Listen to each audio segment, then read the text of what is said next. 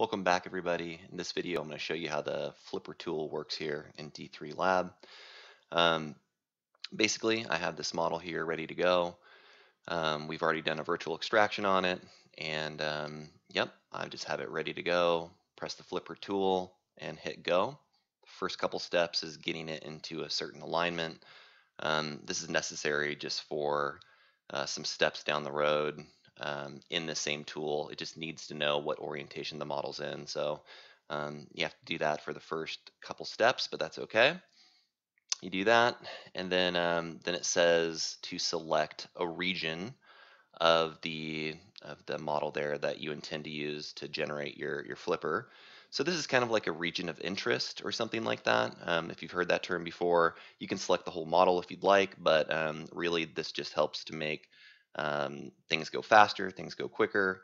Um, also, um, visualizing things is a little bit easier when you don't have the rest of the model there, so just kind of aids in, in, those things, uh, but mainly just to make things go faster. Um, so this is just a, a segment of the model. You're still going to do a selection on this segment, um, and that's what we're doing right now, which is uh, to select the flipper base. Now you can draw like I was just doing there. Um, or since we have this model already segmented in a prior step, um, the easier thing to do here is, in my opinion, is just to go ahead and do the select brush, which is just you can uh, activate by hitting S or um, changing it in the upper left there from lasso to brush. And I'm just selecting just kind of very generously all around the gingiva um, uh, surrounding the teeth that I intend to include um, on, you know, in the flipper base. Just kind of getting into those little embrasure spots. And then um, also um, a decent part of the palate here. And I'm just doing this very quickly. This is just an example. Um, I don't know if this would be a really good design for, for a flipper, but it it might actually, you know. I mean, all you really need is just a little bit of the uh, palate there and some good embrasure retention, and and it should be fine, um, especially if it's just temporary. But either way, what I'm doing now is um, I'm holding control down and double clicking on all the existing teeth. So that will remove the selection on those surfaces. So what we're left with is just this nice gingival selection. So it's almost easier to do it that way um, than drawing with your, you know, by hand um, with the lasso brush. So the settings over here, flipper um, thickness, we'll keep it at two.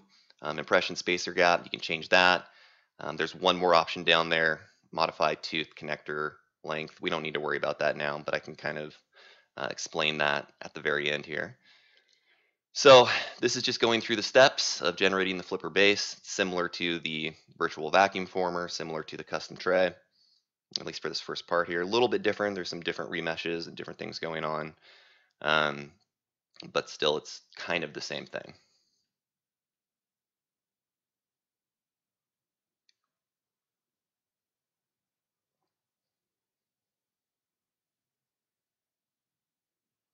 I think at this at this point it's just doing a make solid. The only reason I do that is just to ensure if there's any weird little um, errors in the mesh or, or, weird triangles or weird little points or, or, things like that, they just basically get erased when you do a make solid. So um, that's what I did there to ensure that looks good.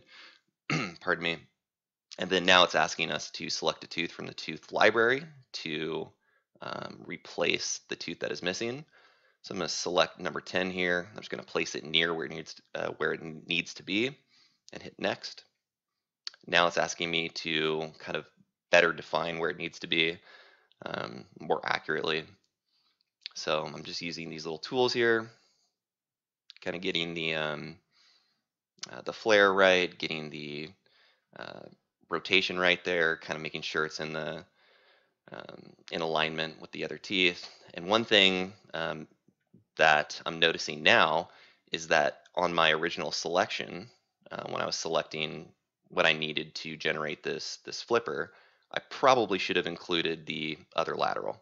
Um, that would have been nice to have some sort of symmetry there to go against, but either way, this is fine for now. Again, I'm kind of just quickly doing this, so that looked pretty good for, for this. Um, and at this point, it's basically just sit back and relax because it's going to do a ton of steps automatically. Um, and there's really not much to do except just wait. So I'll kind of describe what's going on as it goes though. Um, at first, you take that at the tooth that you placed um, uh, in the right location. It basically, the first thing it does is it hollows that out. So then there's a kind of inside to that. It's going to make some of these other um, computations easier um, when I'm actually generating the flipper tooth. So it hollows it out.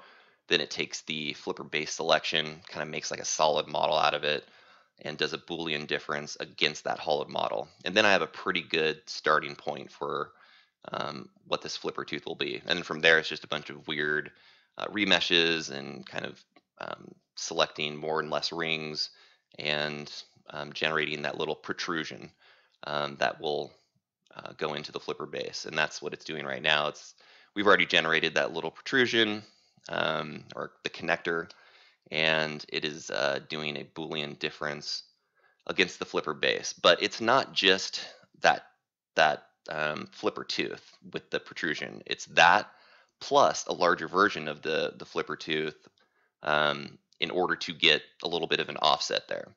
Um, so it's both things um, uh, combined together, Boolean against that that flipper base. So that's what gives you that little bit of offset um, to, to get the resin to combine the two pieces. Uh, what it's doing now is it's checking to see um, if there's any parts of this flipper tooth that are, are touching the existing model.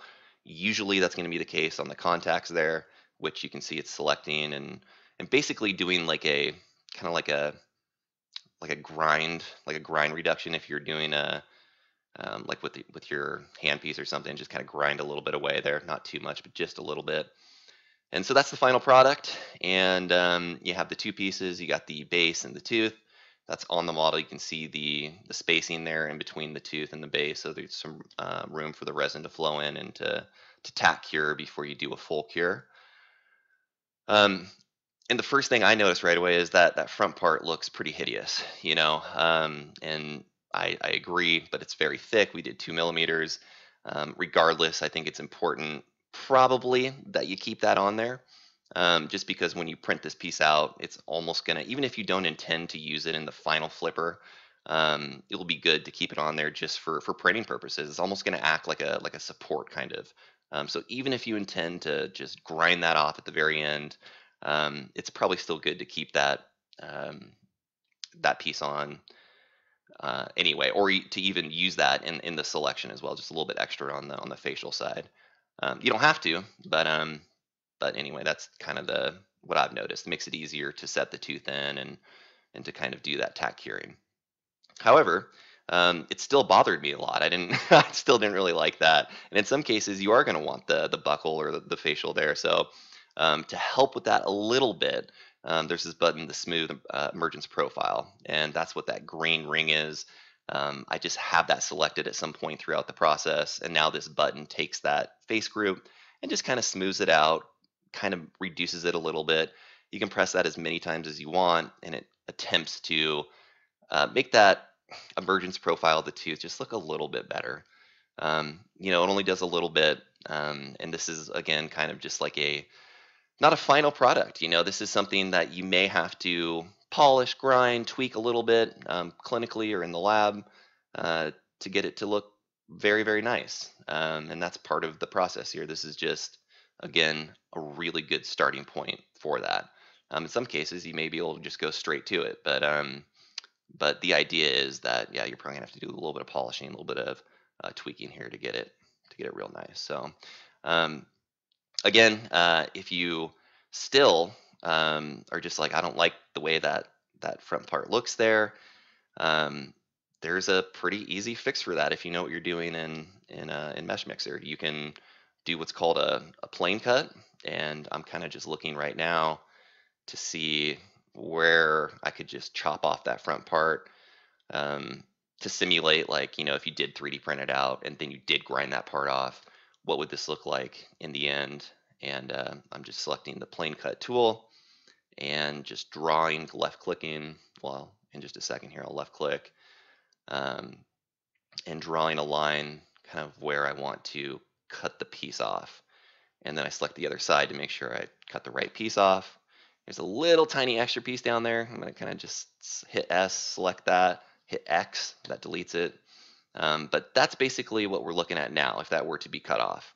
And now what we're looking at is something that looks pretty presentable, um, in my opinion. You know, I think that looks much better um, aesthetically. But again, the whole point there would be to print that out and then potentially adjust that emergence profile, um, you know, with your lab tools or burrs or whatever. Or even in um, even further in, in Meshmixer, you can go in there and kind of tweak it um, with some sculpting tools and make it look a little bit better, um, however you want. So, but that's what it would look like if you did kind of cut it off clinically, or even if you did it just right now virtually. And there's that space still kind of just showing that there's a little bit of space in there to, to add the resin in, um, so you can do your tack curing and make a full cure um, after that. What I'm doing right now is um, you can double click if there's two objects in the scene and they're both there. If one's active, you can double click on the other one that's kind of shadowed out. And if you then hide it immediately, it will show you on the other model um, where it was touching, where it was intersecting. And so um, that's just showing you that those are the areas where the tooth will actually be touching, like the stops, essentially. So um, it's only in a few places, which is, which is exactly what we want. Just a few small spots where the two pieces are actually touching each other in order to help maintain uh, orientation. Everywhere else, a small gap um, to allow the resin to flow in.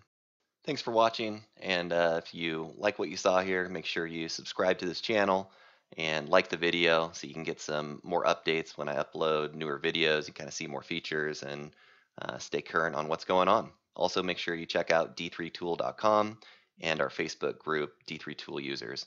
Right, thanks a lot. Have a wonderful day.